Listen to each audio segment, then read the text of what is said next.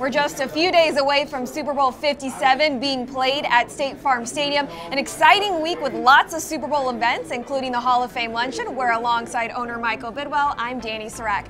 Michael, it's been a busy couple of weeks, not just prepping to host the Super Bowl, also looking for the Cardinals' new head coach. What are the updates on that front? Well, the updates, and if you just scene setter here, in the history of all Super Bowls, there's never been a team that's been doing a GM search, a coach search, and then hosting a Super Bowl just a few weeks later. So we've been really busy planning, but also we've got Monti as our new GM. He's been fantastic. He's been with us three and a half weeks. Everybody's working well together. You can already feel the new energy and uh, as he's restructuring things. So a lot of good stuff.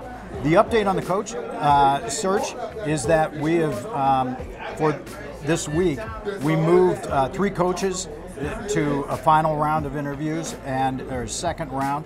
Uh, we've had two of those three interviews. Uh, Brian Flores decided to accept the position as defensive coordinator at the um, at, at, at the Minnesota Vikings, and so but it's Super Bowl weekend. The entire NFL is focused on the Super Bowl. So we're going to pause throughout the rest of the weekend and, and get uh, restarted on this Monday morning.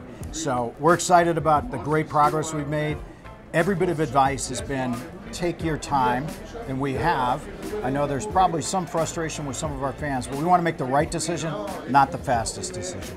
Your grandmother, Violet, was the first female NFL owner. She was honored at the Hall of Fame luncheon Friday afternoon.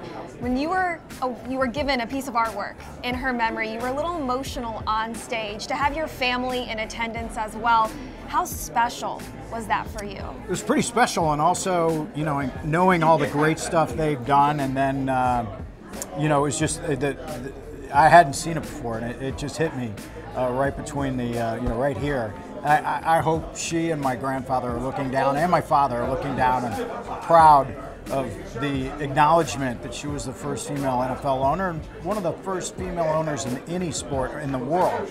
And uh, she was such a pioneer, such a strong woman, shrewd businesswoman, and uh, she didn't suffer fools. So she she really worked hard and she had a lot of great success. Won a championship in her 15 years. Uh, you know, went to the championship a second time.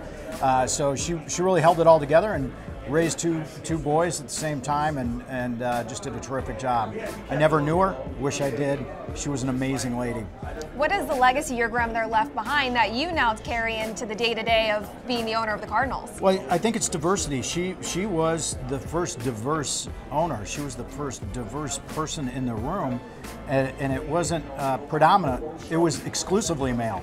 And uh, so I think my father, who was 15, 16 years old at the time when his father passed away, um, you know, had a front row seat to seeing a woman do this and succeed.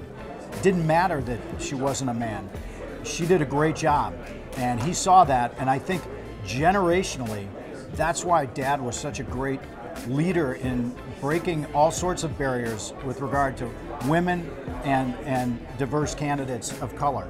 So, uh, and I think that carries on to, to, today. And they were doing it when it wasn't the cool corporate thing to do. Um, and so I, I, I'm just so proud of our, our history and of our, uh, and especially in this area. So many events showcasing the city and meeting with other owners and other teams this week leading up to the Super Bowl. I mean, are you getting any sleep? Have you, are you caught up on any sleep at all or just go, go, go?